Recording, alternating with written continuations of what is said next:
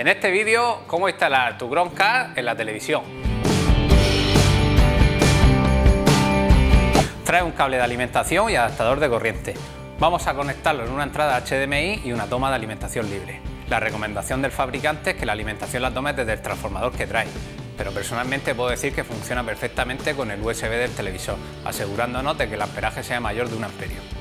Debes disponer de una conexión Wi-Fi con buena señal en la zona donde va a quedar instalado, ya que si no es buena la cobertura tendrás problemas de funcionamiento o la calidad de la imagen se verá resentida. Hay que poner en la televisión la fuente correspondiente al conector trasero en el que hayamos enchufado el Chromecast y tener el teléfono conectado a la misma red Wi-Fi y el Bluetooth encendido. Descargamos la aplicación Google Home,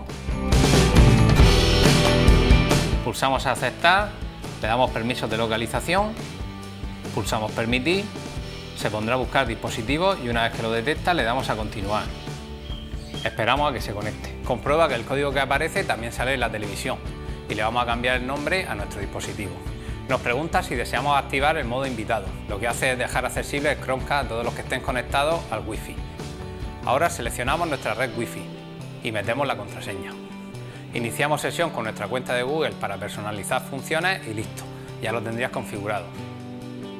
Se le puede enviar contenido desde Android, iOS, PC y Mac. Y cada vez más servicios y aplicaciones están siendo compatibles. Una manera muy buena de hacer Smart TV tu televisión.